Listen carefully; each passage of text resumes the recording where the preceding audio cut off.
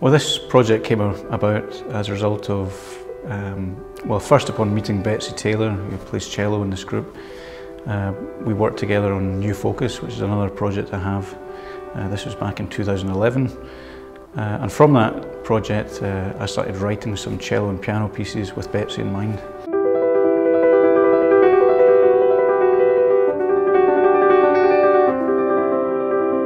Then Euan said he was thinking he would like to add flute to the combination of cello and piano and Katherine being my best friend was the immediate choice um, so um, I'm happy to take full credit for the fact that Katherine is now in our trio.